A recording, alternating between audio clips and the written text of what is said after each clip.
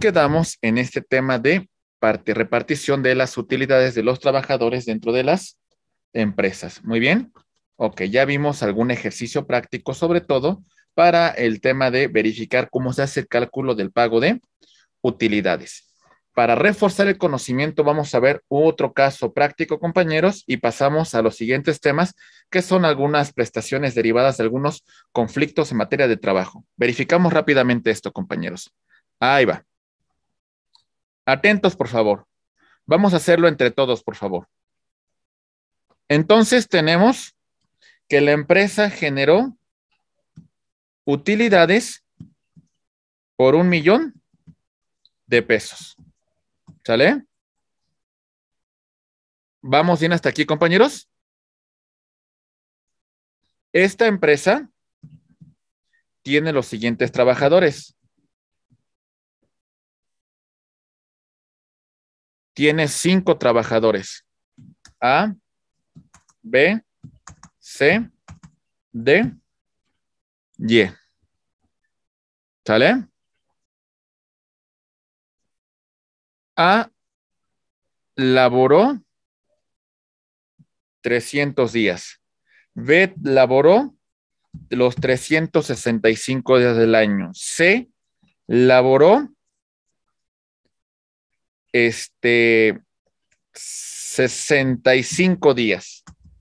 D laboró 200 días y elaboró 120 días. Muy bien. Ok. ¿Qué salario percibió A? A percibió en total un salario en ese tiempo que elaboró de 150 mil pesos de salario de vengado. B recibió 180 mil pesos. C, por ese tiempo que elaboró, recibió un total de 50 mil pesos. D recibió un total de 120 mil pesos. E recibió 100 mil pesos. ¿Hasta aquí vamos bien, compañeros? Muy bien. El 10% es lo que va a repartir el patrón a sus trabajadores de utilidades. Entonces, ¿cuánto va a repartir, compañeros? Primera referencia, vamos a ir haciendo el ejercicio, por favor. ¿Cuánto va a repartir? 100 mil. 100 mil pesos. Muy bien. Ok. Cabe mencionar, estimados amigos, que este ejercicio es del año 2022. Para el año 2021, hay una cantidad que no fue objeto de partición y que los trabajadores que en su momento tenían derecho a reclamarlo, pues ya ha prescrito su derecho. Hablamos que por ahí tenemos un remanente de 50 mil pesos de un ejercicio fiscal anterior. En total, ¿cuánto vamos a repartir este año 2022? De acuerdo a estos ejercicios que estamos haciendo. 150. 150 mil pesos. De los cuales el 50% bajo qué rubro se van a repartir, compañeros.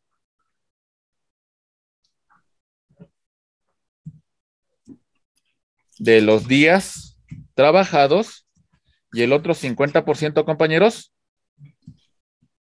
de los salarios de vengados. Muy bien, Ramón, te escuchamos, por favor. Eh, doctor. Te escuchamos, Ramón. Nos, comentaba que había un este, un pendiente ahí de, del año 2021. Bueno, sería del 2020, porque el ejercicio que vamos a, repartir, de, vamos a repartir es del 2021, lo vamos a repartir ahorita en el 2022. Aunque sería el 2020 que no, ya prescribió, no, no se va a considerar. Exactamente, ya los trabajadores que en su momento tenían derecho a solicitarlo, pues su acción ya prescrito. No lo reclamaron y por eso lo estamos aquí incluyendo para repartir esas utilidades. Perfecto, gracias. ¿Sí? Muy bien. ¿Vamos bien hasta aquí, compañeros? Perfecto. Hagamos los ejercicios correspondientes. Calculamos el factor de días y el factor de salarios y sacamos a cuánto le va a, cuánto le va a corresponder cada trabajador. Vamos a sumar los días, por favor. Ayúdeme con esta operación.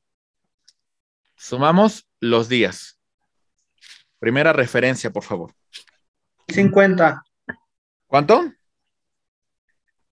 1050 días. 1050. 1050. Ok. Muy bien. 1050 días. Entonces vamos a dividir, ¿qué, compañeros? En este caso serían 75 mil entre 1050. 1050. ¿Qué cantidad me da, compañeros? 71, 71.4285. 71 punto 4285. 4285. ¿Vale? Este es el factor de Sueldo. días. Días. ¿Vamos bien? Ok. Ahora vamos a calcular cuánto le va a corresponder a cada trabajador. Trabajadora, ¿qué cantidad le corresponde en relación a este factor? Por favor. Ayúdenme, por favor. 300 por 71.4285. Me dice que el trabajador A, en relación a días, le corresponde 21,428 pesos con 55 centavos. ¿Estamos de acuerdo? ¿Sí? Trabajador B, ¿cuánto le corresponde, compañeros? Ramón, tenemos una pregunta anterior, eh, tenemos otra pregunta, fue la anterior. Ramón. Eh, mande, maestro. No, perdón, eh, no he bajado la, la, Ah, la manita. Perdón. no, gracias. ok. Ahora ayúdame con el trabajador B, por favor. Ayúdenme, por favor. Saquemos el, saquemos qué le corresponde a cada trabajador, por favor. 26.071.40. 26,071 punto, 1.40. 26,071.40 me dice, ¿verdad? Trabajador C, por favor.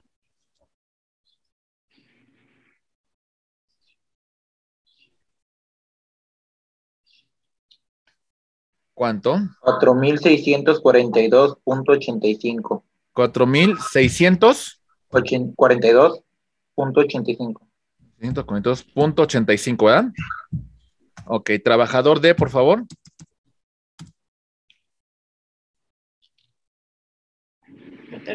14.285. 14,000. 265.7. 285.7. Sí. Ok, trabajador E.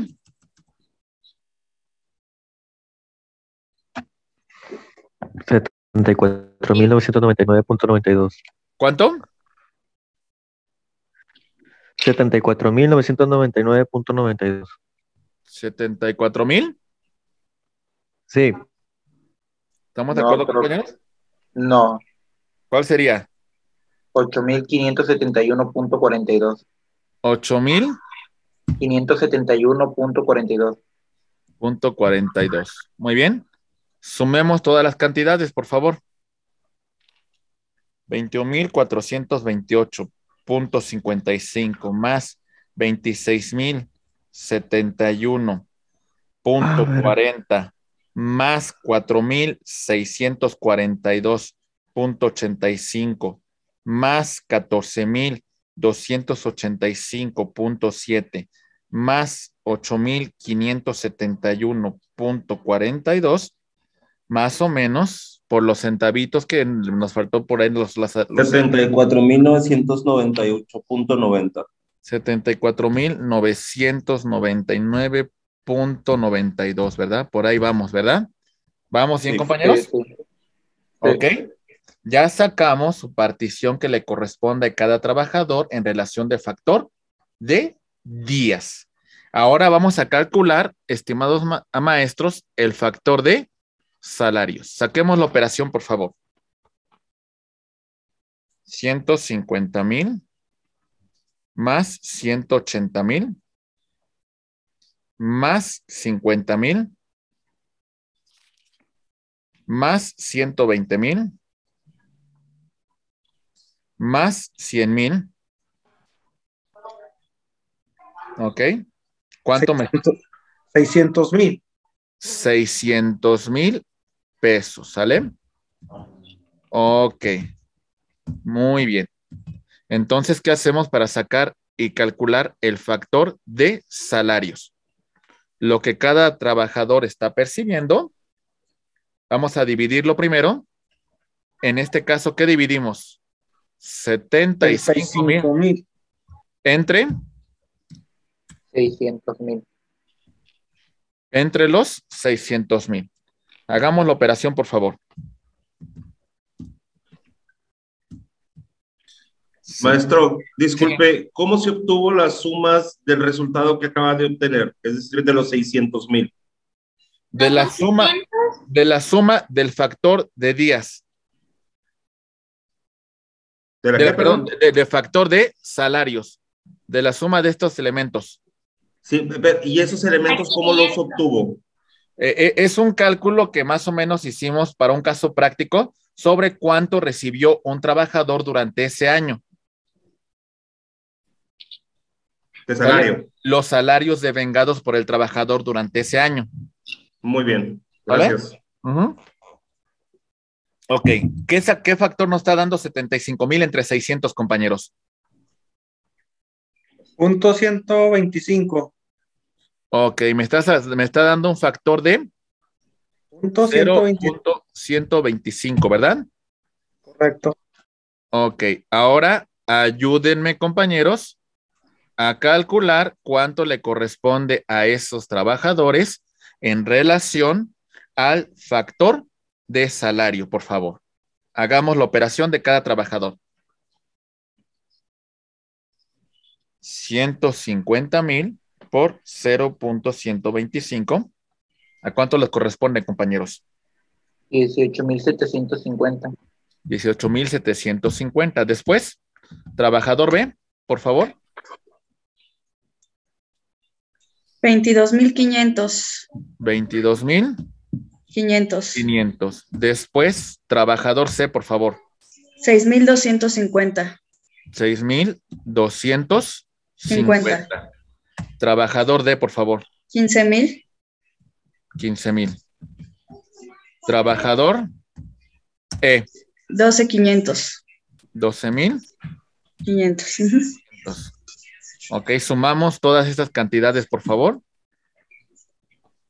Aquí como nos salió un número muy concreto, muy cerrado, compañeros, la verdad es que la cantidad nos va a dar muy exacto. 18,750 más 20 75.000. Ahí exactamente. Aquí sí nos da los 75 mil. Muy bien, compañeros. Ok, entonces, factor de salarios en azul, factor de días en rojo. El cálculo que hicimos en primer lugar fue el factor de días y el segundo fue el factor de salarios. ¿Sí está quedando claro cómo hacemos esta operación, compañeros?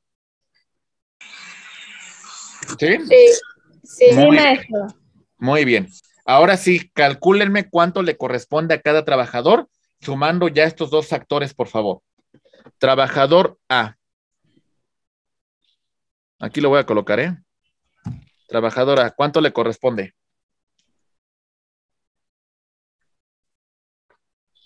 40 mil ciento setenta y ocho punto cincuenta y cinco. Cuarenta mil ciento setenta y ocho punto cincuenta y cinco. Setenta y ocho. Sí. Punto cincuenta y cinco. Ok, ahí está bien la cantidad, ¿verdad? B. Sí. Ayúdenme, por favor. B, ¿cuánto le corresponde? Cuarenta y ocho mil quinientos setenta y uno punto cuatro. Cuarenta mil espérate. 40 mil, 48.000. 48 mil. ujú. Sí, le- 571 571.4. 571. Punto 4. Punto cuatro. Trabajador C, por favor.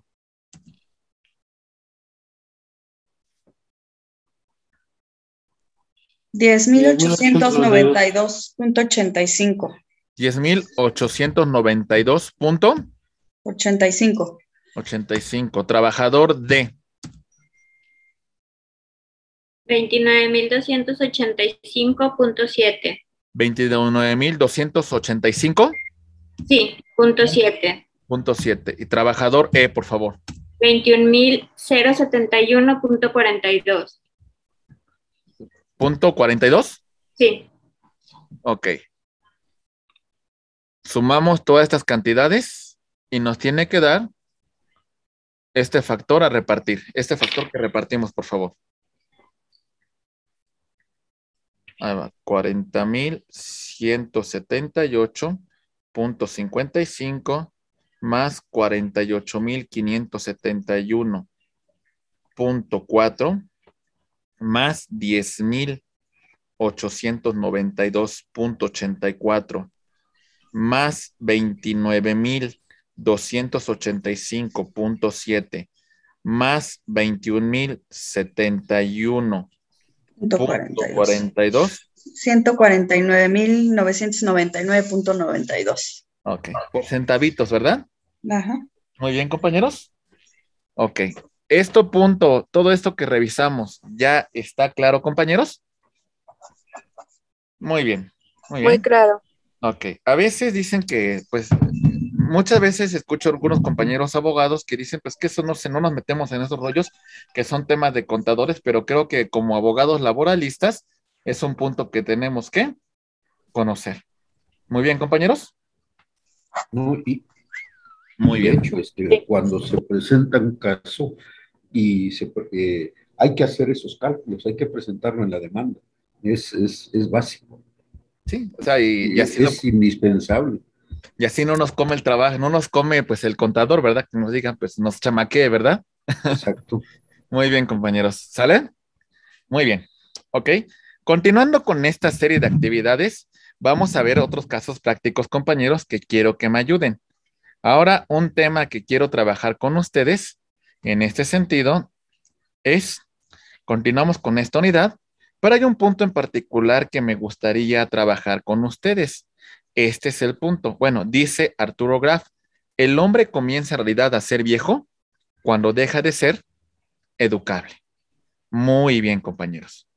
Seguimos y decimos, derechos del trabajador cuando concluye una relación laboral por diversos motivos. Recuerden que en una relación laboral vamos a tener supuestos importantes. Relación laboral. Nace derivado de un contrato. Muy bien. Relación laboral. Aunque si no existe el contrato, se acredita con el trabajo personal y subordinado y recibir un salario como consecuencia de esa prestación. En este sentido, cuando concluye una relación laboral, puede ser por un acuerdo de voluntades. Las partes que participaron dicen, ¿sabes qué? Ahí concluye nuestra relación, págame lo que me corresponde conforme a la ley y ahí nos vemos. O puede ser también, compañeros, que hagamos una suspensión temporal y hablamos de la suspensión. No termina la relación laboral, sus efectos se suspenden temporalmente y posteriormente, cuando concluya esta causa de suspensión, la relación laboral continuará.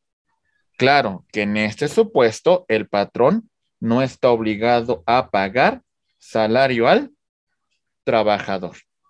¿Sale? Y también mencionamos, por ejemplo, la rescisión de la relación laboral. La terminación, en este caso, del contrato por causas imputables al trabajador o viceversa también, ¿eh? Rescisión de la relación laboral por causas imputables al patrón. Muy bien. Y también nos encontramos bajo, la bajo el término de despido injustificado. Muy bien. Ok. Ante un despido injustificado, tenemos la posibilidad de reclamar el pago de la indemnización constitucional, más demás prestaciones que vamos a ver un poco más adelante, o también el tema de la reinstalación. Trabajadores de confianza no pueden solicitar la reinstalación. Trabajadores eventuales no podrán solicitar la reinstalación. Trabajadores domésticos no podrán solicitar la reinstalación. Muy bien. El patrón que está obligado a un tema de reinstalación, en el supuesto de no querer cumplir con la resolución, con la sentencia, con el laudo, pues bueno, tendrá que indemnizar al trabajador y además de pagar una percepción de 20 días por año laborado en cumplimiento de la resolución que ha emitido el juez, que ha emitido los tribunales del trabajo. Muy bien. Ok, compañeros. De esto que estamos revisando, destaquemos puntos importantes. Ok. Vamos a hablar de algunos puntos, por ejemplo, cuando alguien se retira de forma voluntaria, de despido justificado, de despido injustificado, de imposibilidad para trabajar por vejez o invalidez, de la rescisión del contrato por el trabajador por motivos imputables al patrón, incapacidad total o permanente por riesgos de trabajo, ¿sale? Reajuste de personal, cierre de la empresa por caso fortuito fuerza mayor, muerte del trabajador como consecuencia de un riesgo de trabajo. Muy bien. Vamos a empezar con el primer supuesto, la renuncia voluntaria. Muy bien, compañeros. Ok. Veamos que vamos a cumplir con este trabajador. El trabajador dice, me voy, ya no quiero continuar, me voy por mi propio pie. Vamos a pagar parte proporcional de aguinaldo, parte proporcional de vacaciones y prima vacacional, prima de antigüedad, siempre y cuando tenga más de 15 años cumplidos para que sea una prestación obligatoria.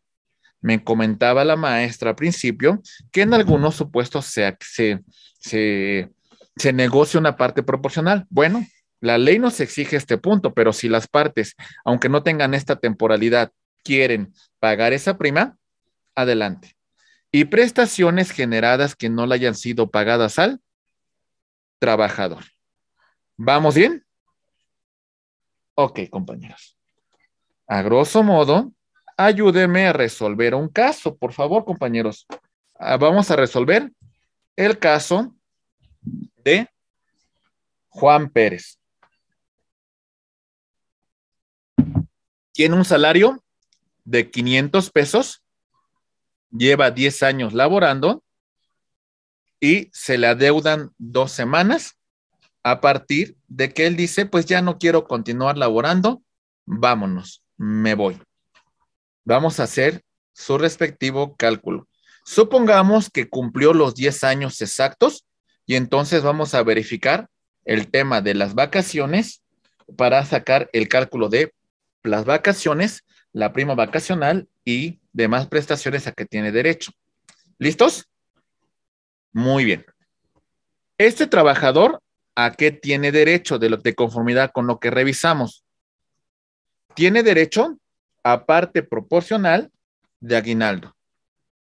Señalamos que cumplió el año. Entonces, ¿a cuántos días de aguinaldo tiene derecho este trabajador? Aquí le ponemos, aguinaldo, ¿cuántos días? 15 días, ¿verdad? ¿Vamos bien? Sí. Ok. Vacaciones. Vamos a pagarles la de la de ley. ¿Cuántos días de vacaciones tiene derecho por 10 años de servicio? 16. 16. ¿A cuánto correspondería la prima vacacional? 4. Cuatro días. Muy bien. Este, bueno, prima de antigüedad no le correspondiese en este caso. Le adeudan dos semanas de salarios de vengados, ¿verdad? Salarios de vengados, le adeudamos dos semanas. ¿Sale? Muy bien, hagamos entonces la operación. ¿Cuánto le correspondería este trabajador de finiquito? Hablaríamos de, en relación a las, a la aguinaldo, sería 500 por 15, serían 7500 en relación de, en aguinaldo, vacaciones, serían 8 mil pesos en relación a la prima vacacional. Serían 2 mil pesos. En relación a los salarios de vengados, ¿cuánto sería, compañeros? 7 mil. ¿Cuánto? 7 mil pesos, ¿ah? Sí. Ok. Entonces, ¿a cuánto asciende la compensación que le tenemos que dar a Juan Pérez por su 24. renuncia voluntaria? 24 mil 500. 24 mil 500 pesos. 500. Muy bien. Ok, maestros. Bien, vamos a otro supuesto. Eh, son casos muy sencillos, pero que sirven como un tema de reforzamiento. Siguiente caso, por favor. Ahí va. Vean, por favor. Ahora vámonos al supuesto de despido justificado. El patrón tiene una causa para rescindir la relación laboral que tiene con el trabajador. ¿Sale? ¿Vamos bien, compañeros? Ok. ¿A qué prestaciones tiene derecho este trabajador en el caso de despido justificado? Parte proporcional de aguinaldo. Parte proporcional de vacaciones y prima vacacional. Prestaciones generadas que no, que no le hayan sido pagadas y siempre va a tener derecho a qué?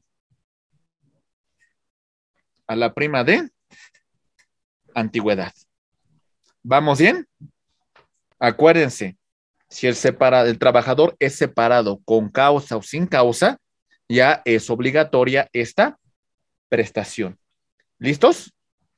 Calculemos ahora, estimados maestros, el caso de la señorita Mari López.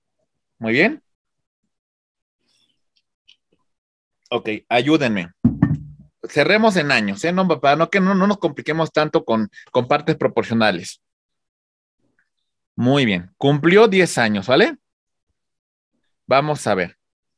¿Cuánto le correspondería de aguinaldo? 15 días, ¿verdad? Ok. ¿Cuánto le correspondería de vacaciones? ¿Cuántos días? ¿Cuántos maestros? 16. 16. ¿Cuánto le correspondería de prima vacacional?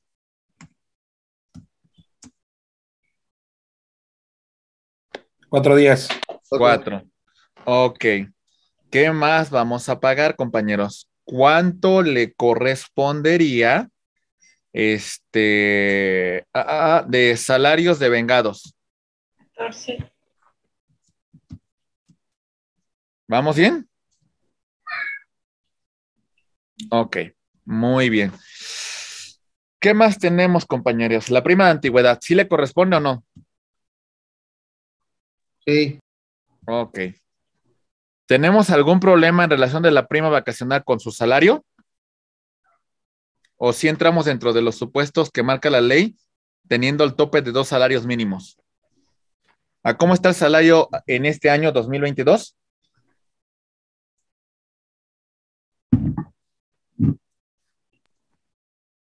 Cómo está, compañeros? Ay, Ciento, 172.87. 172.80.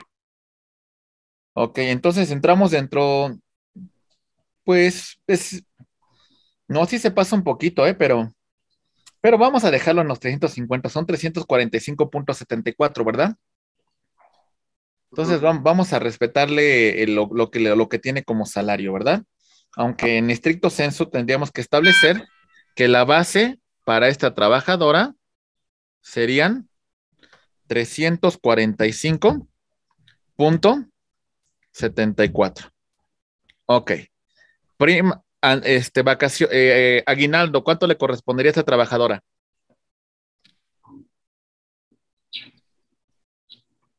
¿Cuánto serían? sería 5.250. 5.250. 5,250.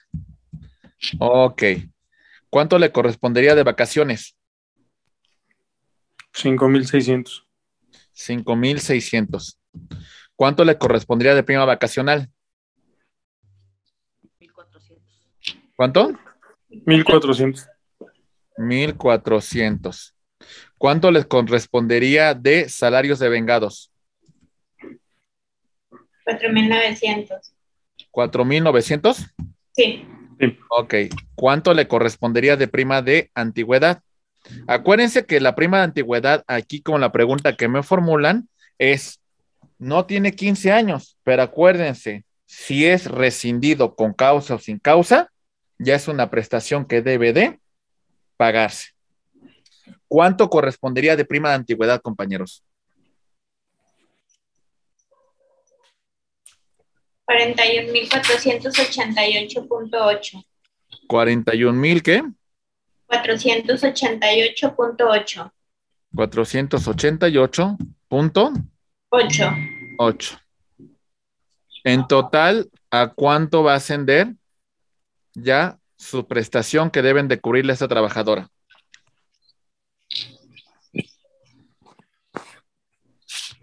¿A cuánto? 5,250 más 58.638.80.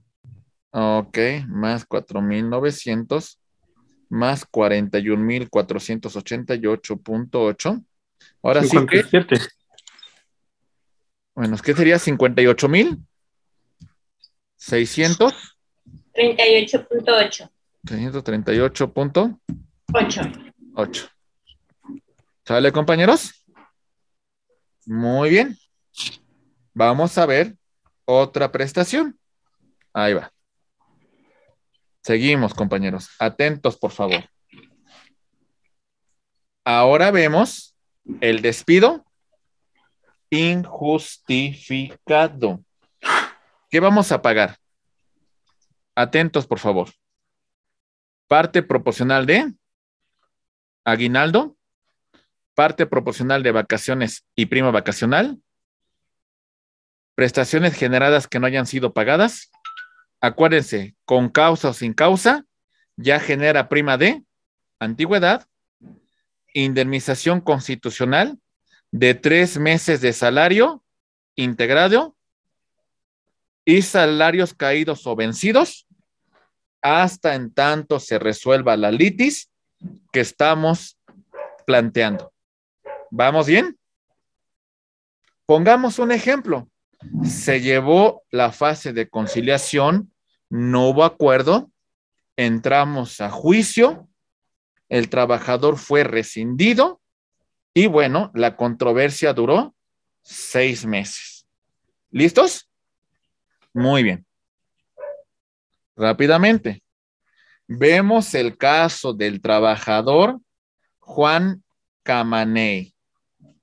Salario 450 pesos. ¿Ok? Antigüedad 15 años. Salarios de vengados, un mes. La controversia para este trabajador duró seis meses. ¿Sale? ¿Vamos bien, compañeros? Ok, vamos a hacer el cálculo de sus prestaciones. ¿Listos? Sí. Muy bien, vamos a verificarlo. ¿Qué vamos a calcular primero? Su aguinaldo. Aguinaldo. Si decimos que este señor Juan Camaney ganaba 450 pesos diarios y tiene 15 días de aguinaldo, ¿cuánto le vamos a dar? Ok, empezamos por los 15 días de aguinaldo. Vacaciones. ¿Cuántos años tiene Juan Camaney? 15 años, ¿verdad? ¿A cuántos días de vacaciones tiene derecho? 18 días. 18 días. ¿A cuánto asciende la, la, la prima vacacional? 4.5. Asciende a 4.5. Muy bien. 4.5. Muy bien. ¿Qué más vamos a calcular? Mm, vamos a ver su... Le, le deben un mes de salario, ¿verdad? Salarios de vengados. 30 días. ¿Sale? Ok. Muy bien.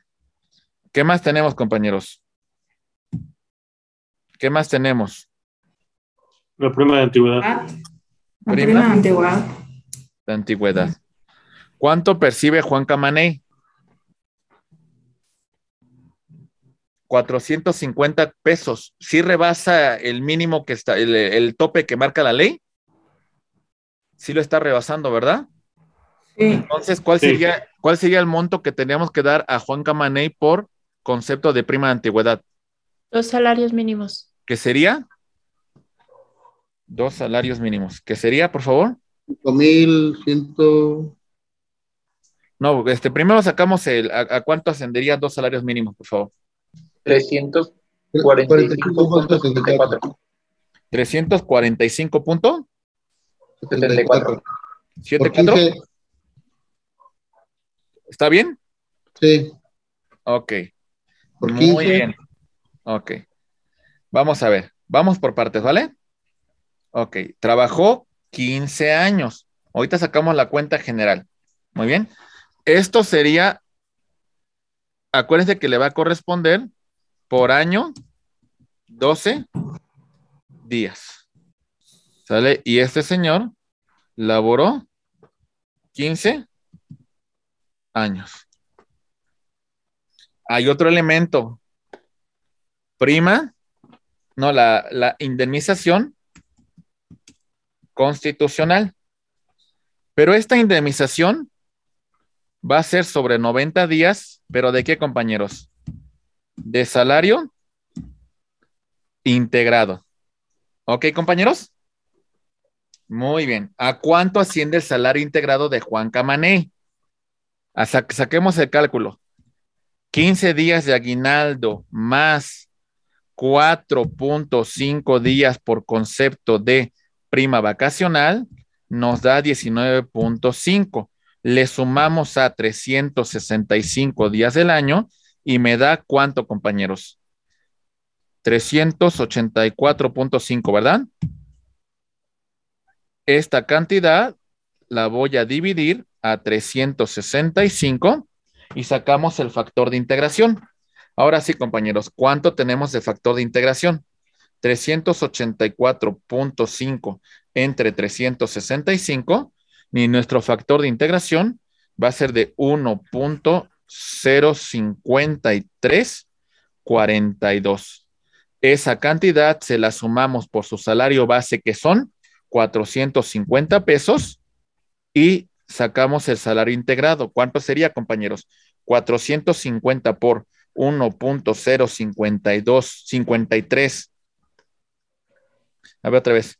450 por 1.05342, sale, sacamos que su salario integrado será de 474.039.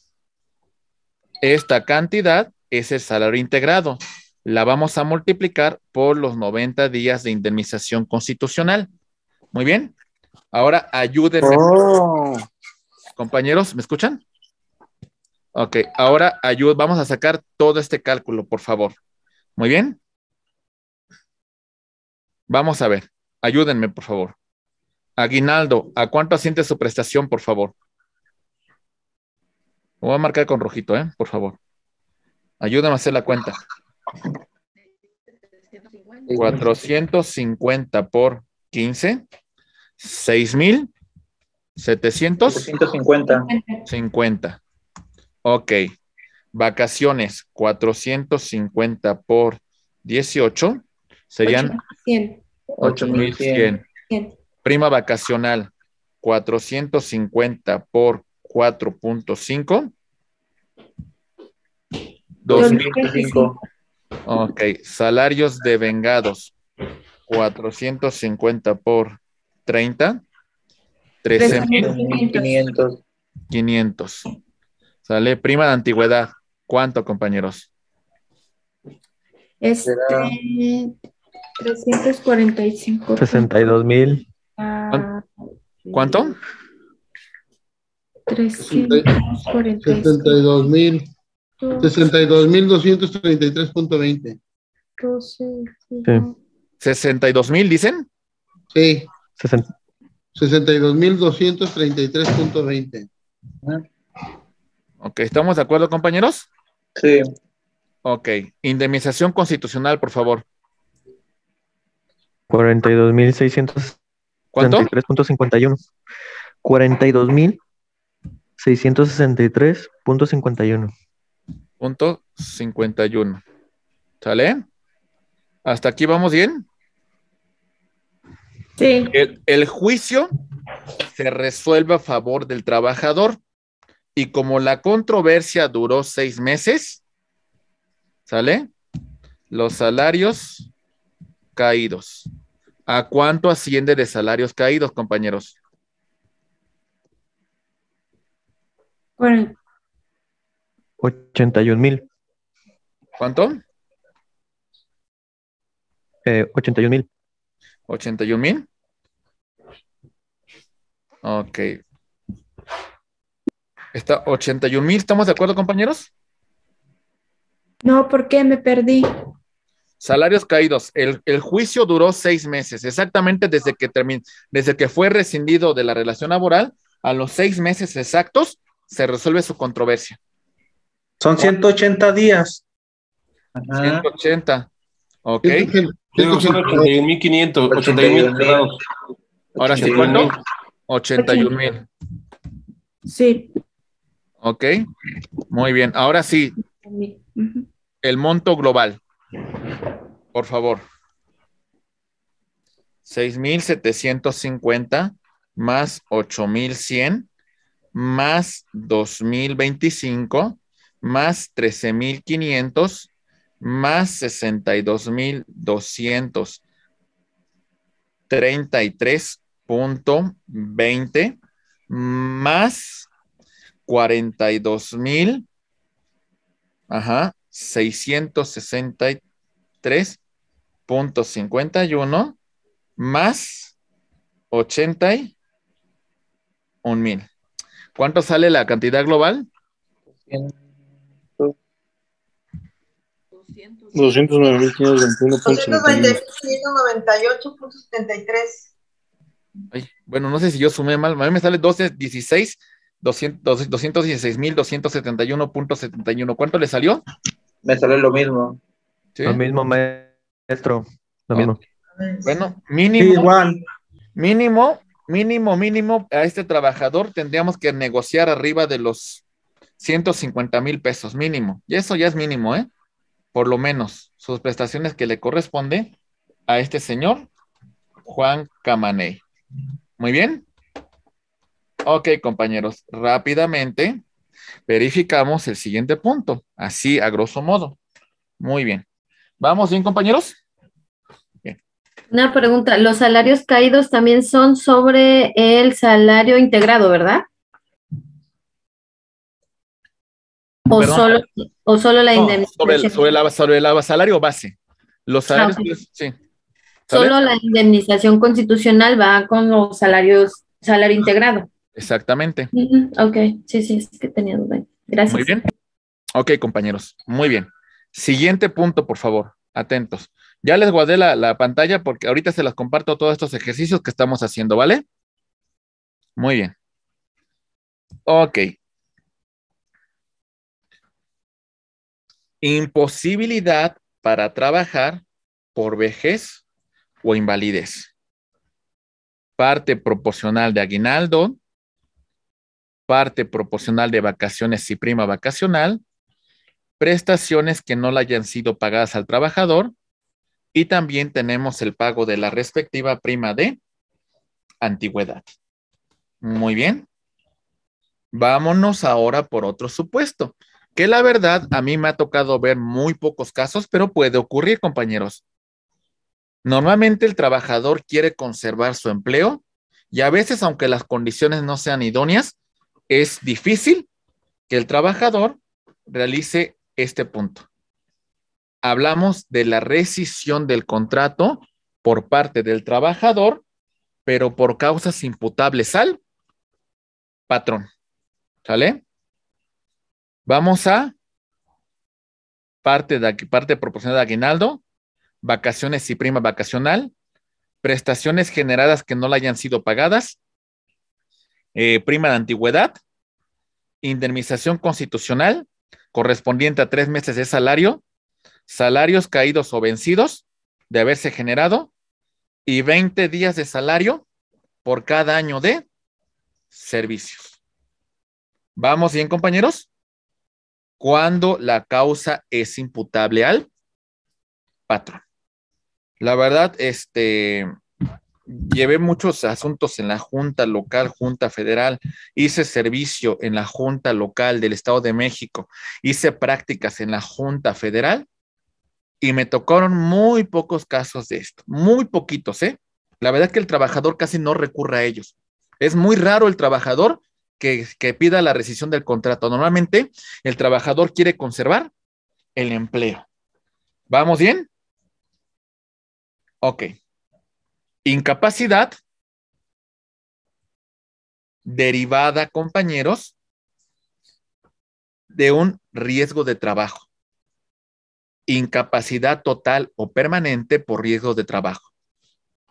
Parte proporcional de aguinaldo, parte proporcional de vacaciones y prima vacacional, prestaciones generadas que no hayan sido pagadas, prima de antigüedad, y si el trabajador no estaba inscrito en el seguro social, se va a pagar un importe de 1095 días. ¿Sale? Por concepto de esta, de, este tema de no tenerlo inscrito en el seguro social. Tenemos también otro rubro importante, el, el tema de reajuste de personal. Imagínense, imaginen, Jesús se encuentra trabajando en la Ciudad de México y le dice la empresa, ¿sabes qué? Voy a cerrar la planta en la Ciudad de México y me voy a ir a Aguascalientes. ¿Sale? O me ingresé en la empresa, tenemos 100 trabajadores, pero ¿qué crees? Coloqué nueva maquinaria y ya no requiero los 100 trabajadores. Ya nada voy a requerir 20 trabajadores. Reajuste de personal los trabajadores que terminan la relación laboral a qué tienen derecho. Aquí lo mencionamos.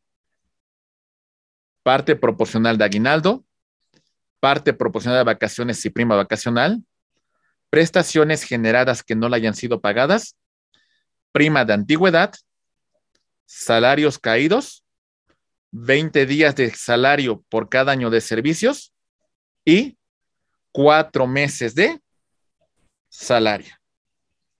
Vamos bien, compañeros. Reajuste de personal. Muy bien.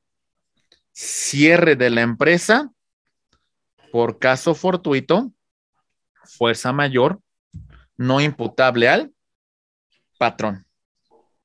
Parte proporcional de aguinaldo, parte proporcional de vacaciones y prima vacacional, prestaciones generadas que no hayan sido pagadas, prima de antigüedad e indemnización constitucional con salario integrado de tres meses.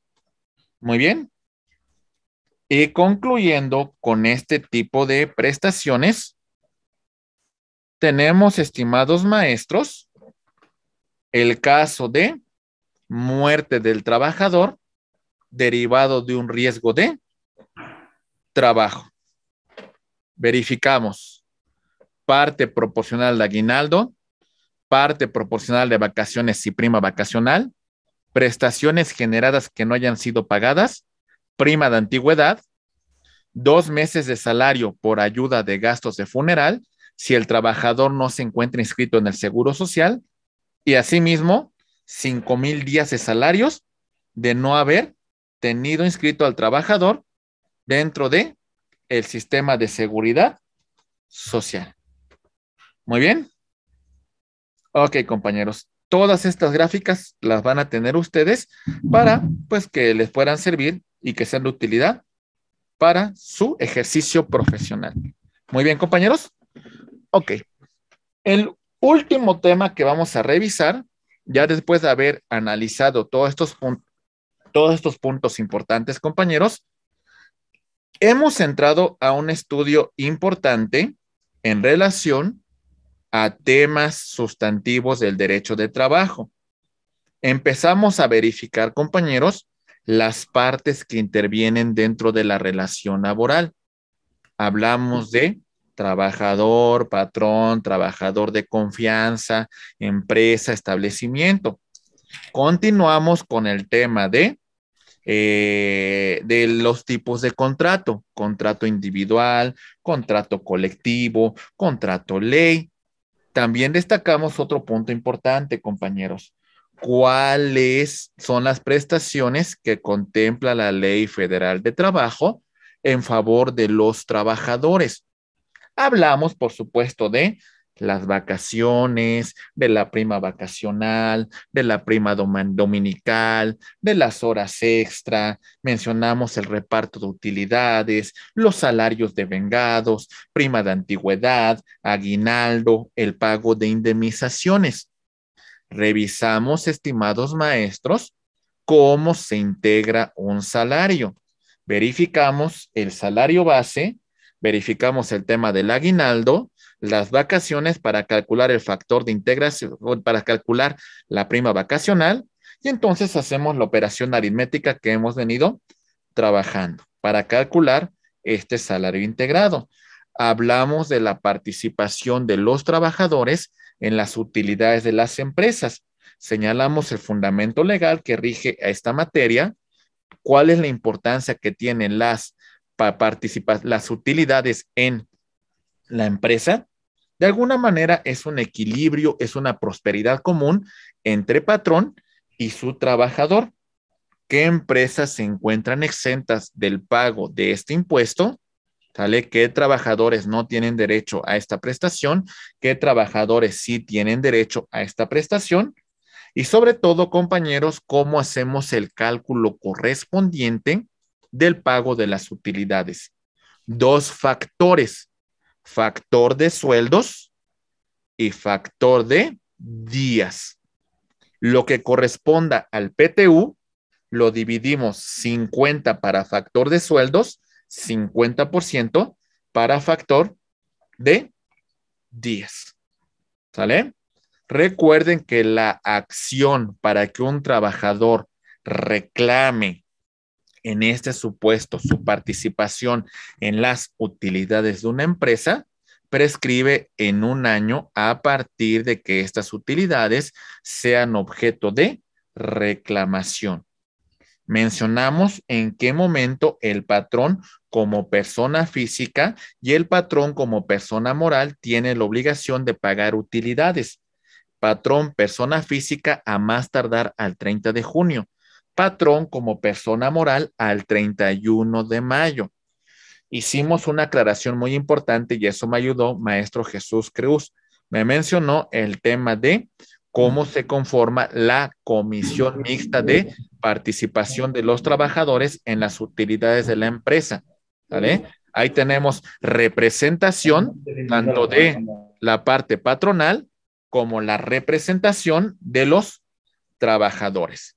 Hablamos del límite, ¿vale? El límite para que los trabajadores participen en las utilidades y destacamos no superen tres meses o en su caso el otro factor que vamos a ponderar es el promedio de los últimos tres años. Eso también lo verificamos. Hicimos un análisis en qué momento, pues, la comisión mixta puede hacer observaciones al PTU que presenta el patrón. Muy bien, compañeros. Acuérdense, cuando hablamos del salario, hablamos de gratificaciones, hablamos de habitaciones, hablamos de comisiones, hablamos de prestaciones en especie, hablamos de horas extras. Todos esos factores suman el total del salario devengado al trabajador. ¿Se entiende, compañeros? Todos esos factores. Muy bien. Revisamos. Lo que no se hubiese reclamado cuando la, acción que hubiese prescrito para el ex trabajador va a sumarse y se va a adherir a la partición de utilidades del año en curso. Es decir, si para el 2020 teníamos 50 mil pesos que en su momento no se reclamaron y para el 2021 tengo 150 mil, entonces para el 2022, además de los 150 del año fiscal anterior, le agrego los 50 que quedaron pendientes. Voy a repartir un total de 200 mil pesos de utilidades. Muy bien, compañeros. ¿Está claro cómo calculamos el factor de días y cómo calculamos el factor de salarios? Es un tema que sí quedó claro, compañeros. Ya vimos algunas prestaciones. Hicimos algunos ejercicios en el supuesto de renuncia voluntaria, algunos ejercicios en el supuesto de despido injustificado. Hablamos también del despido justificado hablamos de la rescisión por causas imputables al patrón, riesgo de trabajo, hablamos por muerte de, por derivada de un riesgo de trabajo, etcétera, etcétera. Son muchos los puntos que hemos revisado, compañeros. Para concluir con esta, eh, con esta parte que nos corresponde sobre esta, este, este, este punto de, de, su maestría, solamente vamos a hacer una, una pequeña revisión muy a grosso modo, compañeros, jamás pretendo llegar a un tema de, de fondo, porque ese es un tema que ustedes analizarán en su momento, compañeros, que es el nuevo procedimiento ante los tribunales del trabajo. Sabemos que hay una reforma muy importante en la parte adjetiva de el derecho del trabajo. Y por ello el compromiso de los profesionales en derecho de estar actualizados sobre esta materia. Es una parte muy importante porque mucho se debatía, compañeros, de la conformación tripartita de las juntas de conciliación y arbitraje. Cuando surgieron en esa lejana ley de 1931, tenían una justificación importante, compañeros. El factor de que el gobierno, de que el representante de los trabajadores y el representante de los patrones resolvieran las controversias que se presentaban dentro de estos conflictos laborales. Es más, fue tan importante sus primeros años, compañeros, que, ¿qué creen? derivado de resoluciones laborales, mismas que no fueron cumplidas por las empresas petroleras del Águila y demás, fue que en su momento se realizó la expropiación petrolera. Y si no, revisen ustedes el discurso que dio el general don Lázaro Cárdenas, por qué también tomó esa decisión de la expropiación. Además de muchos otros factores, también está en que estas empresas pues no querían cumplir con las resoluciones que autoridades mexicanas emitían. Y entonces en ese ejercicio también el presidente de la República, evidentemente muy patriota, pues dice, pues en ese sentido se, se, emite el decreto que expropia a esas empresas para que el petróleo a partir de 1938 pues fuera parte de el patrimonio de todos los mexicanos. Bueno, eso solamente por destacar un antecedente. Compañeros, no digo que las juntas fueran malas, en realidad hubo cosas también buenas durante muchos años. Hubo verdaderas resoluciones que las juntas sí emitían y que buscaban cierta justicia social. El problema es a veces no la ley. A veces somos los propios operadores que hacemos que el sistema pues se pervierta, se corrompa, no funcione. Y hasta cierto punto esa, e, e, e, ese, esa trilogía, esa, esa función tripartita que tenían las juntas, pues se, se convirtió en obsoleta. ¿Cuántas veces yo como, como, como una persona que prestó un servicio social en una junta, estuve como más de seis meses, estuve como ocho meses, vi que se sentaran a debatir un laudo. Nunca, nunca lo vi. Cuando llegaba el representante de los trabajadores en esa junta, solamente firmaba el laudo, sea cual sea resultado. Cuando el representante patronal también revisaba laudos, nunca. Nada más llegaba a firmar. Esa trilogía, esa conformación tripartita, compañeros, ustedes lo sabrán como expertos en materia laboral pues hasta cierto punto se convirtió en mera ficción, ¿verdad? Se convirtió pues en una cuestión que no funcionaba. Y lamentablemente también la especialización de la materia, pues a veces también entramos a un, a un, déficit, a un tema pues, pues no muy profesional. Sobre todo muchas veces se acudían a, a pseudo abogados que se encontraban afuera de las juntas, a los cuales llamamos coyotes, que hasta cierto punto, pues ahí, pues ventilaban los asuntos, este, ahí trataban y convencían a muchos clientes y, bueno, una cuestión hasta cierto punto que pareciese, pues no muy, no, no muy ideal, ¿verdad? El funcionamiento a veces de las juntas, pues no era el más adecuado. Y de verdad que yo conocía gente muy destacada en las juntas, gente muy comprometida con la justicia laboral, pero desgraciadamente los recursos, desgraciadamente la carga de trabajo no permitía pues que este sistema funcionara adecuadamente. Diversas reformas hemos tenido en materia de trabajo. A veces criticamos nuevos procedimientos. A veces, muchas veces, nos cuesta mucho trabajo adherirnos a esta nueva, a, esta, este nuevo procedimiento algunas veces criticamos, otras veces pues estamos de acuerdo.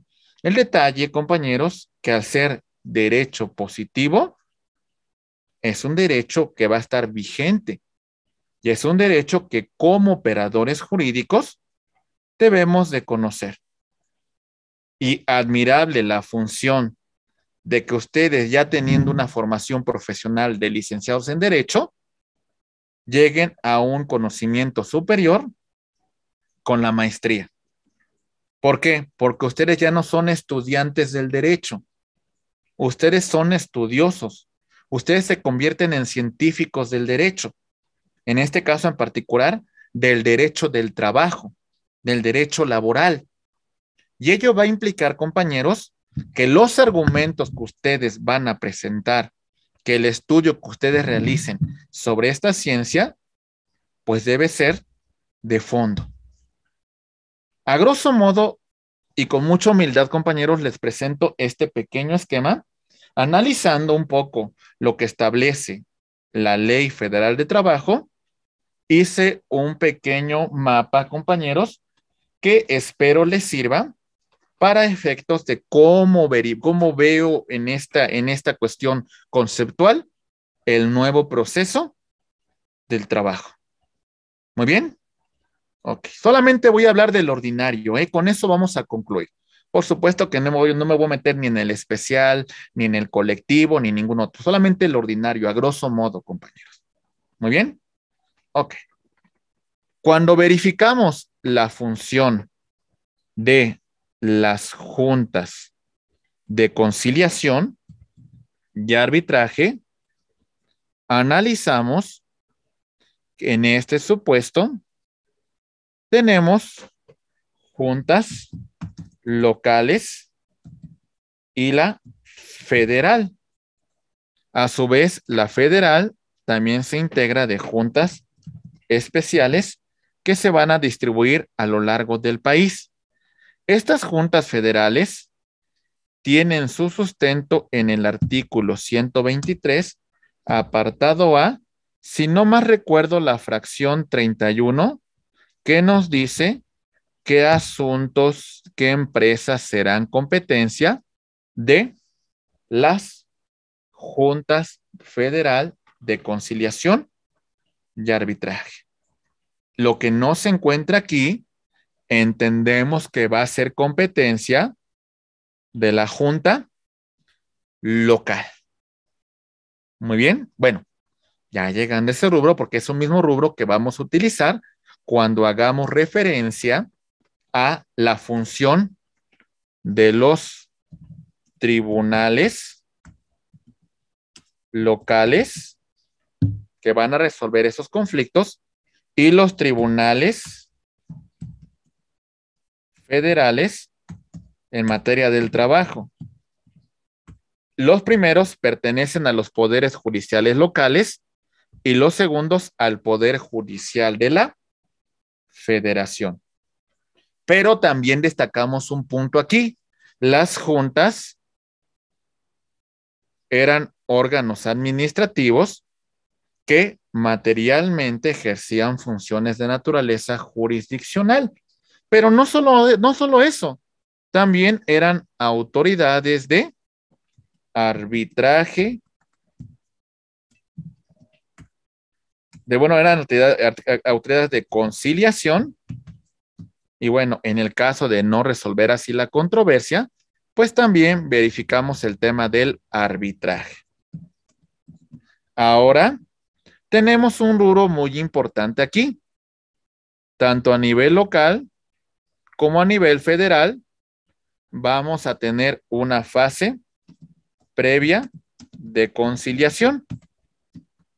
A nivel local, tendremos centros locales de conciliación y a nivel federal, tenemos el Centro Federal de Conciliación y Registro Laboral, que esta, este órgano tiene dos funciones. Función de conciliador en los medios alternos que van a tener y la función de autoridad registral. ¿De qué? De reglamentos, de contratos, de sindicatos. Entonces, ahí tenemos una de sus funciones. Muy bien. Ok, compañeros. Todo esto lo platicamos porque es importante conocer la naturaleza de esta nueva jurisdicción en materia de trabajo. ¿Ok? Muy bien.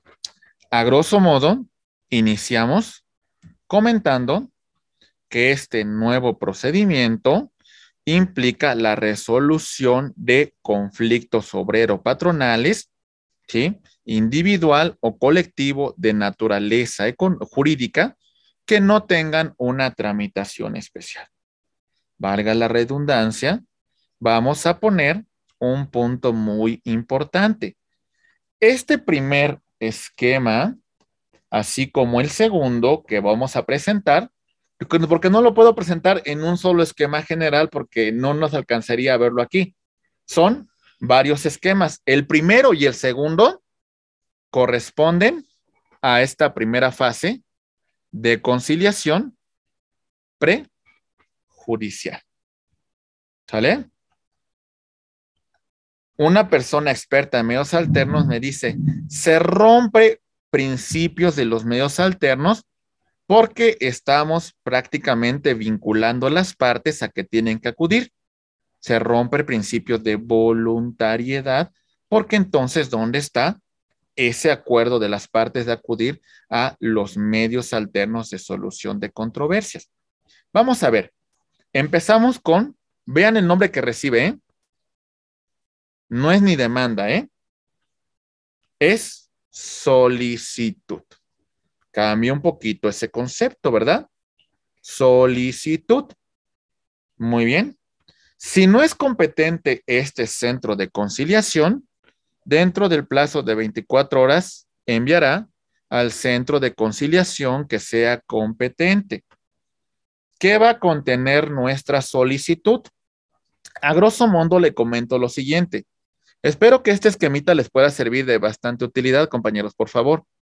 Vamos a agregar nombre, clave única del registro de población, identificación oficial, domicilio del solicitante, nombre del patrón para que sea invitado a esta conciliación, el objeto de la cita y el domicilio para notificar al patrón. ¿Vamos bien? Ok. Ante este centro de conciliación, trabajador y patrón podrían acudir en conjunto. ¿Sale? Los dos presentan la solicitud. ¿Cuál es el objeto en particular? Este, vamos a poner que Verónica es mi patrona. Yo soy su trabajador. Vamos a terminar el vínculo laboral, pero quedamos en buenos términos y decidimos ambos acudir a esta autoridad para dar por terminada la relación laboral. En conjunto, decidimos acudir. ¿Sale? Se puede presentar por escrito, vía electrónica, y también el trabajador no necesariamente tiene que ser representado por un abogado independiente, un abogado particular. También de ser el caso, la propia Procuraduría del Trabajo puede ayudarlo a que resuelva, en este caso, su controversia laboral por esta vía. ¿Vamos bien? Si el centro de conciliación estima que es competente, señala fecha de audiencia. Si acudimos en conjunto, tendrá que ser dentro de los cinco días hábiles siguientes a que este centro se declare competente. Y si es bajo el supuesto de solicitud, entonces vamos a encontrar que serían 15 días. Muy bien. Se dicta el acuerdo en la cual admite competencia y señala fecha en la cual va a tener verificativo la audiencia. Ese acuerdo tendrá fecha de conciliación, número de identificación que va a tener de acuerdo al orden en que hubiese ingresado dicha solicitud, buzón electrónico, porque hay que, hay que señalar un correo electrónico, porque muchos de los acuerdos que se llenan, eh, lleguen aquí, a través de esta vía se van a notificar y va a señalarse la sala de conciliación. Muy bien. Para que se lleve a cabo esta audiencia, por lo menos debemos de haber notificado a la parte que vamos a invitar cinco días hábiles antes de la audiencia, porque si no, se tendrá que señalar una nueva fecha. ¿Vamos bien, compañeros? Ok. Sí. En ese orden vamos exponiendo este pequeño esquema. Seguimos con la fase de conciliación, ¿eh? Seguimos en la conciliación, por favor, ¿eh? Atentos, por favor. ¿Vale? Como aquí no me cabe, imaginen que la flecha continúa acá. El punto que vamos a ver a continuación es la continuación de este esquema, ¿vale? Muy bien. Seguimos. Bueno, llegamos a la audiencia de conciliación. Muy bien, compañeros. Ok, Sí. muy bien. Perfecto. Si no comparece la contraparte, si no comparece el solicitante, es importante que verifiquemos que exista una causa que justifique su incomparecencia para señalar otra fecha. ¿Sale? De no existir una causa que lo justifique, pues se entiende que no tienen la voluntad, que no tienen la disposición, que no tienen esa voluntariedad de llegar a un acuerdo. Si comparecen ambas partes, se va a llevar a cabo la audiencia de conciliación y con el conciliador vamos a tratar de llegar a un acuerdo que evite el conflicto laboral y que resuelva la controversia en este supuesto. Muy bien. Si no comparecen ambas partes y no existe una causa que justifique, pues nos encontramos bajo ese mismo supuesto de que de alguna manera las partes no tienen interés. Si se acredita que hay una causa que justifique la incomparecencia de las partes, estimados maestros, podrá señalarse una nueva fecha dentro de los cinco días hábiles siguientes. Muy bien. Ok, por ahí vi una manita levantada, ya no la alcancé a percibir. No sé si la bajó, si, te- si quería participar, la escucho. No, ya no alcancé a ver bien quién era, compañeros. Disculpe, eh, me equivoqué por error, le levanté Ah, la mano. Disculpe, no lo estoy, lo estoy este, escuchando con atención, perdón, perdón. Muchas gracias. No se preocupe, maestra Noemí, a sus órdenes. Muy bien. Ok. Seguimos, compañeros. Estamos en la celebración de la audiencia. Muy bien. Ok. Las partes tienen que identificarse. ¿Sale? El trabajador se identifica, presenta su, su identificación oficial, etcétera, etcétera.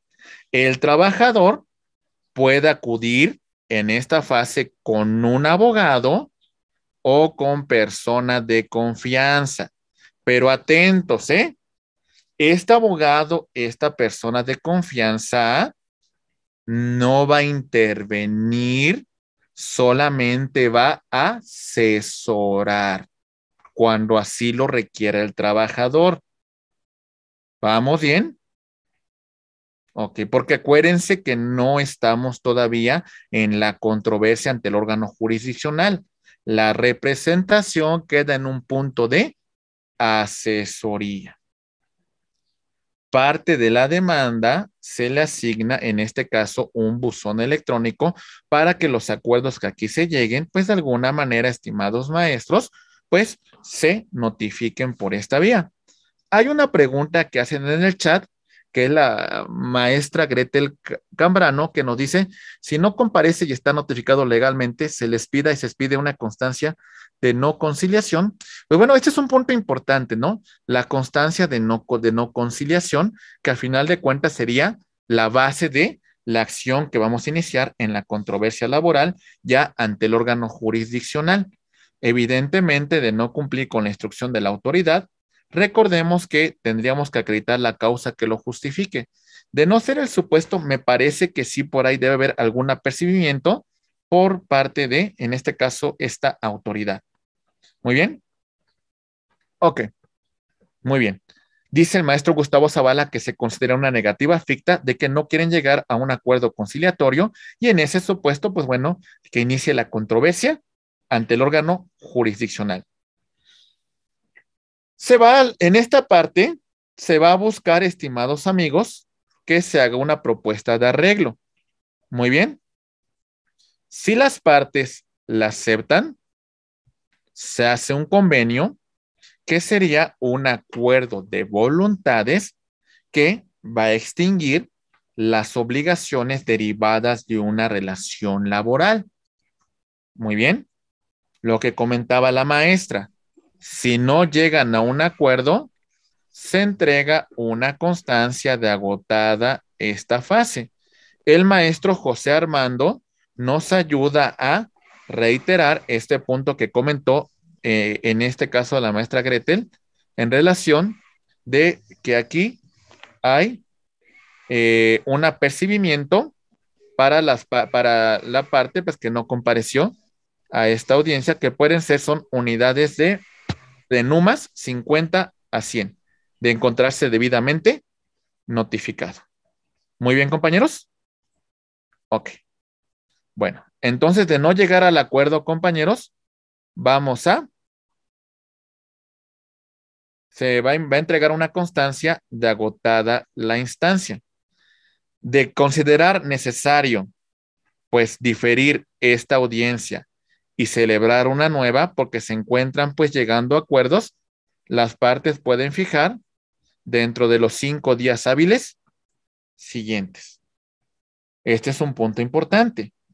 Esta fase no podrá tener una duración mayor a 45 días una vez que el centro de conciliación ha admitido nuestra solicitud. ¿Vamos bien, compañeros? Si llegamos a un acuerdo, concluye todo.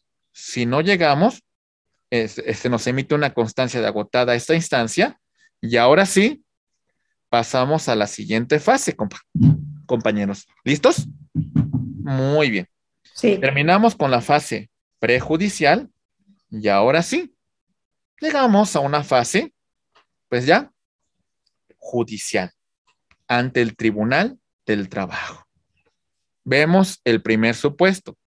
Esta parte ya la hemos agotado. ¿Sale? La fase previa de conciliación ya la agotamos. ¿Y qué creen? No llegamos a ningún acuerdo. ¿Vale? No comparecimos, aunque fuimos debidamente este, citados, ¿verdad? No comparecimos. Bueno, ya tenemos nosotros ese, esa constancia de agotada la instancia de conciliación, vamos a, presentarnos en oficialidad de partes común del tribunal que sea competente para resolver la controversia laboral. Analicen ustedes el artículo, 120 el artículo 123, apartado A, fracción 31, para que verifiquemos cuál es la competencia de las autoridades federales, qué empresas se encuentran bajo ese supuesto, para que también verifiquemos la competencia del órgano jurisdiccional. Presentamos entonces nuestra demanda ante la oficialidad de partes común. Dentro de este plazo de 24 horas, muy bien compañeros, turnamos al tribunal correspondiente. Si la demanda cumple con los requisitos que establece la Ley Federal del Trabajo y además, pues de alguna manera se ofrece en tiempo y en forma, no ha prescrito la acción que reclama el trabajador, pues bueno, estimados amigos, pues se va a dictar un acuerdo de admisión. Muy bien. Vamos a emplazar dentro de los cinco días hábiles a la parte demandada. Muy bien. Ok. La maestra Norma Canseco dice, aplica el procedimiento de las relaciones laborales que se rigen por ambos apartados y, bueno, bajo ese supuesto, para el tema de competencia, estimada maestra, pues nos sujetamos a este, a este fundamento normativo. Muy bien. Ok. Perfecto. Muy bien. El tribunal emplaza la parte demandada. La parte demandada tiene un plazo de 15 días a partir de que se haya notificado para dar contestación por escrito, ofrece pruebas y de ser caso, presentará una reconvención. ¿Vamos bien? Ok. Un punto importante que no mencioné, pero es importante destacar. Me regreso a este punto para que señalemos qué contiene la demanda. La demanda va a contener el tribunal ante el cual se está promoviendo, nombre y domicilio del actor, en su caso de su apoderado, de su representante, quien deberá, de, quien deberá acreditar su personalidad, nombre de la empresa, su domicilio, el patrón, las prestaciones que se están reclamando, ¿sale? Los hechos que funden la petición del actor, las pruebas. En este caso hay una diferencia sustantiva con el procedimiento ante las juntas, porque recuerden que ante las juntas había una fase procesal muy particular donde se ofrecían pruebas. Aquí, en el propio escrito de demanda, vamos a presentar nuestras pruebas. Agregamos la constancia de no conciliación, ¿sale? Excepto en aquellos casos que la Ley Federal del Trabajo no lo contempla. Por ejemplo, en el caso de violencia de género, en el caso de cuando se rescinde una relación laboral a una mujer en estado de gravidez, en aquellas cuestiones que, que tengan una implicación importante en relación a derechos humanos, etcétera. Son varios supuestos que maneja la ley. Hay, hay que entrar a un estudio muy importante y muy particular cuando tengan su asignatura de procedimientos, en este caso. Informar si se presentó antes una controversia de índole laboral con este patrón. Muy bien, compañeros. Ok, bueno. Regresamos a este punto. Nos quedamos aquí. Contestación.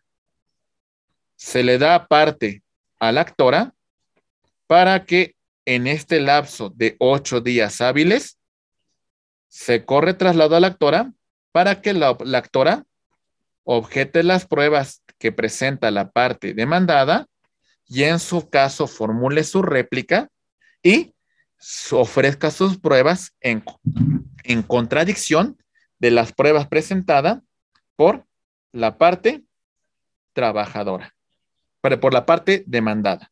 ¿Vamos bien, compañeros? Continuamos con nuestro esquema, ¿vale? Como ya no cabe aquí, aquí continúa. La parte que viene de nuestro esquema es la continuación. ¿Sale? Muy bien. Ok, compañeros, seguimos. Ahí va. ¿Sale? ¿En qué parte nos quedamos con antelación?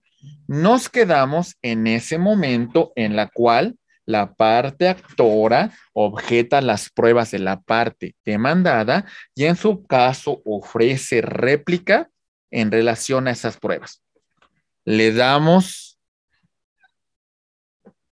dentro de los cinco días hábiles siguientes, se correrá traslado a la parte demandada para que en su caso formule contrarréplica y objete las pruebas. La réplica de la actora y la contrarréplica de la parte demandada. Muy bien. Maestro Diego Magaña levantó la mano, lo escuchamos con atención. Muchas gracias. Sí, maestro, este, buenas noches a todos. Nada más una pregunta, una duda que tengo. Este, ¿en qué artículo de la ley en la materia se establece que no se necesita ofrecer como prueba dentro de la demanda que se presente este, la constancia de no conciliación? Ah, este. Que no es necesario presentar, o sea, exhibirla como una prueba. Ahí tenemos. No sí, o, no, sí. o, nada más, o, nada más, en que. De, de, de, deme la oportunidad de ahorita con todo gusto, avanzamos en la exposición ahorita con todo gusto le digo, porque hay algunos supuestos muy particular en la cual no es necesario agotar una fase previa de conciliación y nos vamos directamente a, a la controversia entre órgano jurisdiccional.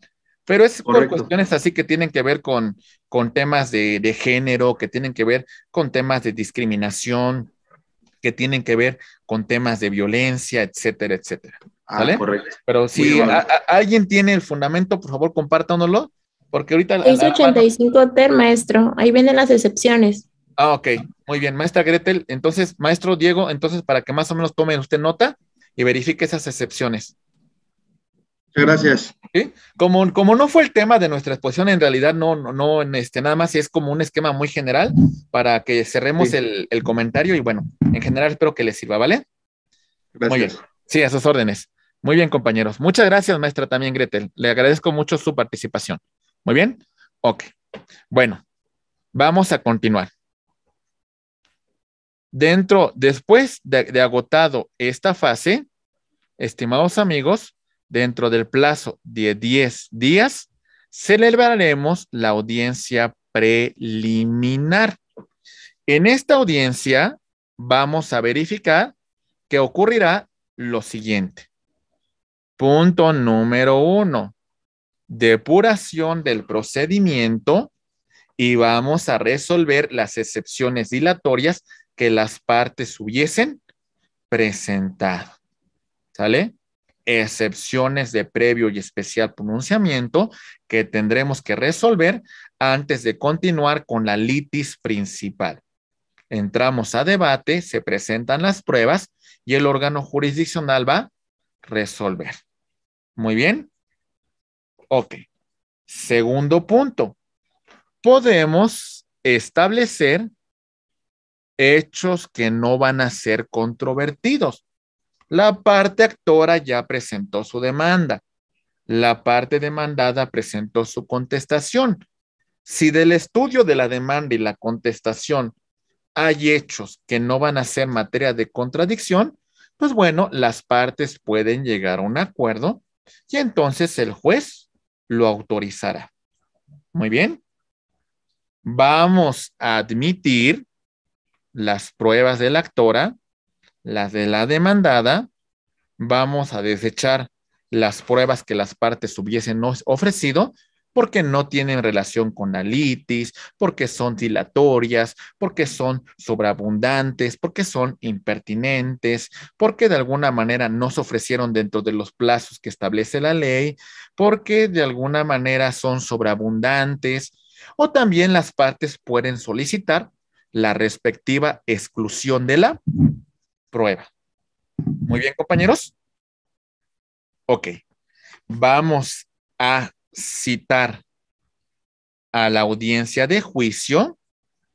Muy bien. Resolver recursos de reconsideración en el caso de actos u omisiones que se hubiesen presentado durante esta audiencia por parte del secretario instructor. Vamos a, vamos a celebrar la audiencia de juicio que deberá efectuarse, como aquí señalamos, dentro de los 20 días siguientes hábiles a que concluya esta audiencia preliminar. Muy bien. Ok. Vamos en este orden de ideas, compañeros. ¿Algún comentario? ¿Se va entendiendo? Bien. Seguimos esta línea temporal y llegamos a la audiencia de juicio. Muy bien. ¿Qué pasa en esa audiencia de juicio? Bien, vamos a verificarlo, por favor. Primero, se dará cuenta las partes que comparecen, así como los peritos y testigos que intervendrán, ¿sale? Se levantará la protesta correspondiente de conducirse con verdad durante esa audiencia, ¿verdad? Hacemos el respectivo desahogo de la prueba de la parte actora, de la parte demandada, existe un tema de contradicción, se formulan los alegatos correspondientes, ya no habiendo ninguna prueba pendiente por desahogar, formulamos los alegatos y se cierra la etapa de juicio.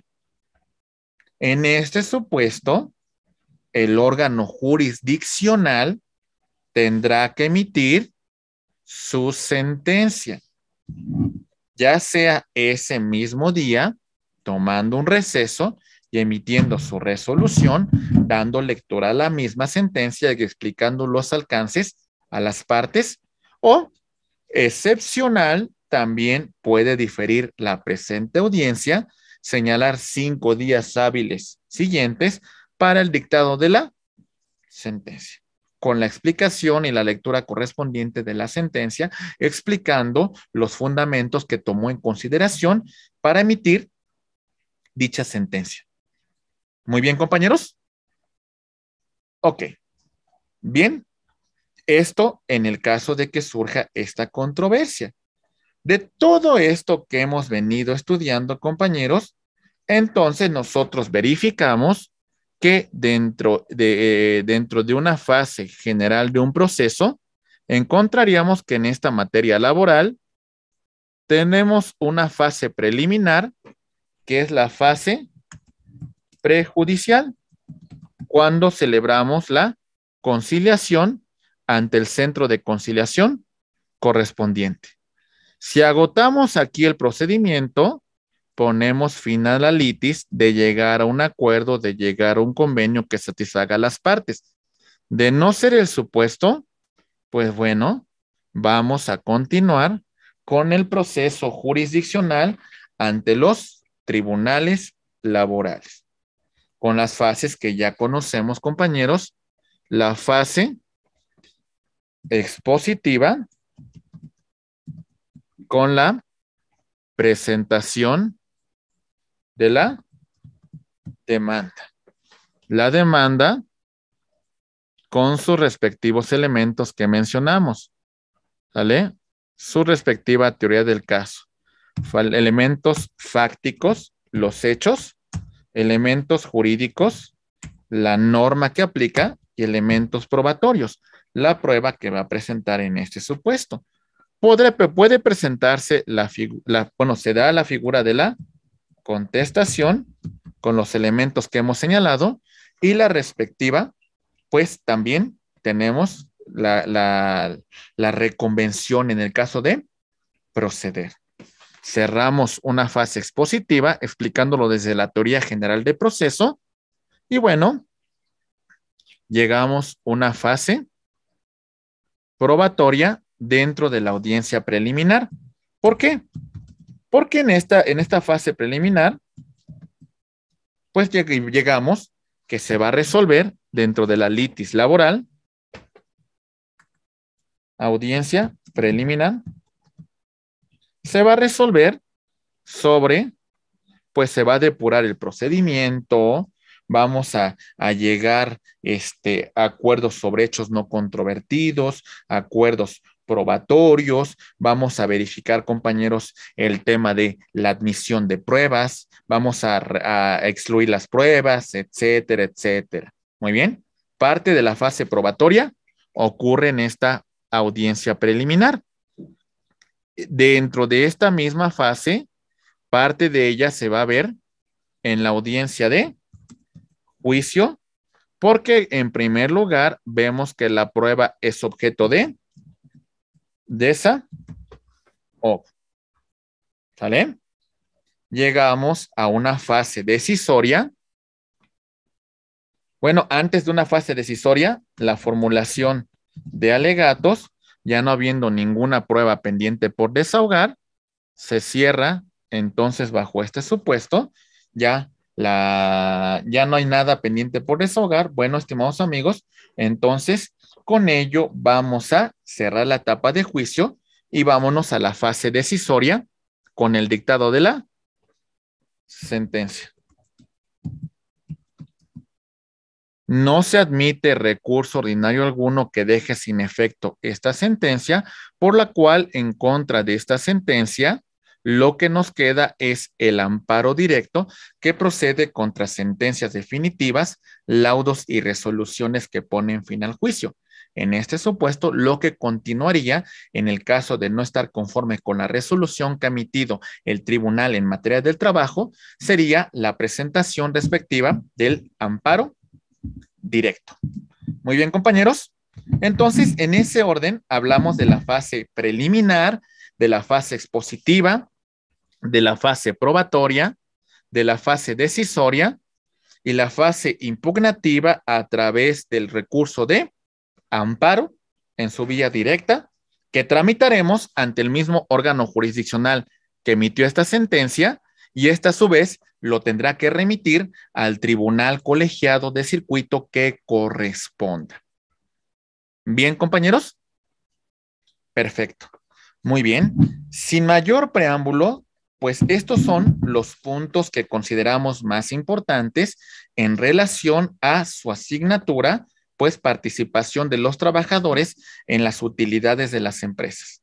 Analizamos parte sustantiva del derecho del trabajo con la primera parte cuando analizamos las prestaciones que tienen derecho los trabajadores y siendo, haciendo principal hincapié en el tema de los trabajadores y su participación en las utilidades, señalando casos prácticos que versan sobre esa materia, señalando cuándo se encuentran excluidas las empresas, cuándo tienen obligación de pagar esta, estas utilidades, qué trabajadores se encuentran excluidos y mencionamos los límites que establece la ley e hicimos el ejercicio correspondiente integrando días e integrando también los salarios de vengados. ¿Cómo se va a pagar? Llegamos a esos ejercicios. Verificamos algunas prestaciones derivadas de riesgo de trabajo, de muerte por riesgos de trabajo, despido injustificado, eh, rescisión de contrato por cosas imputables al patrón, rescisión de contrato por cosas imputables al trabajador, etcétera, etcétera. Y cerramos nuestra intervención con esta parte adjetiva, que de verdad fue muy poca, que fue muy limitada, que solamente fue un esquema general del proceso. Muy bien, compañeros. Bien, pues 2022 inician con el pie derecho, estudios de formación de maestría, continúan con su formación profesional, comprometidos con su trabajo, comprometidos con sus clientes, comprometidos con el desarrollo del derecho en el país, va a recaer sobre ustedes un peso muy importante en relación, compañeros, de que como maestros en derecho del trabajo, pues ahora sí, compañeros, ustedes tienen que defender las causas de la justicia social. Y no por ello diga que los patrones no tienen derecho a una defensa, sino también defender la justicia social desde la vertiente de los trabajadores, desde la vertiente de los patrones y desde la vertiente de los sindicatos y demás actores de la relación laboral. Siempre siendo objetivos, siempre siendo estudiosos, con lo que implica esta función. Pues sin mayor preámbulo, mi estimada licenciada Melanie, agradezco su atención. Siempre estoy muy interesante, siempre estoy muy atento de lo que ustedes comenten, de sus comentarios, de sus aportaciones que fueron importantísimas. Las aportaciones de cada uno de ustedes ayuda a complementar esta maestría y nunca duden en preguntar, nunca duden en intervenir, nunca duden en seguir cuestionando, compañeros, porque al final de cuentas esa es parte del conocimiento. Recuerden la mayéutica de Sócrates, compañeros. Los, los, estos sofistas querían tener todo el conocimiento. Y Sócrates, a través de la mayéutica, a través de la humildad, a través de saber que él no tenía todo el conocimiento, pues evidentemente buscaba una verdad. Nunca se cansen de aprender, nunca se cansen de cuestionar, nunca se cansen de seguir indagando, compañeros no hay una verdad absoluta y tenemos que seguir buscando una verdad que nos haga mejores seres humanos, que nos haga mejores profesionales, que nos haga encontrar un equilibrio en un mundo de por sí ya muy difícil. Gracias.